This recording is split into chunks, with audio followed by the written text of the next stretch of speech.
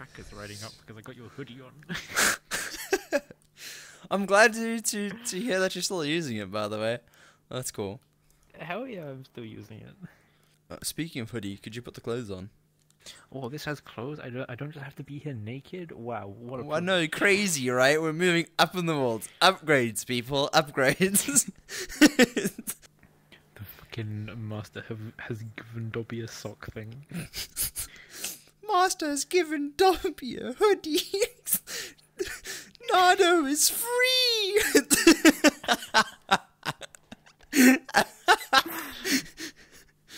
oh God. Yeah, just like that, dude. Honestly, could you give me the Kev stare? It's like, do I really have to do a Kev stare? Do I really have to?